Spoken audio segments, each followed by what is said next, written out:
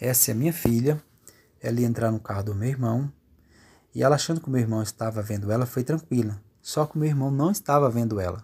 Acabou atropelando ela. E se vocês prestarem atenção, a roda da caminhonete passa por cima dela. Essas são imagens de câmeras de segurança da minha rua. Esse fato aconteceu em 2019. A minha filha estava com 21 anos, hoje ela está com 22 anos. E se vocês prestarem atenção nessa outra câmera, a minha filha bate forte a cabeça no chão.